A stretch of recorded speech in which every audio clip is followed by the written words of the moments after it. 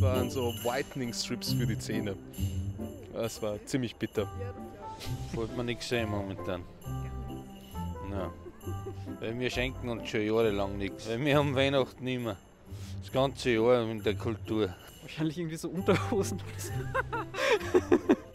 Schwierige Frage, wirklich. Ich glaube, irgendeine Art Socken.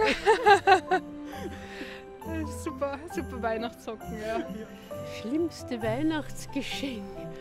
Muss ich überlegen. Ja, wenn meine Familie fern bliebe. Das wäre für mich am schlimmsten. Ja, wenn sie sagen, nein, wir fahren weg oder so, so ähnlich, ja. Schlimmste Weihnachtsgeschenk? Gute Frage.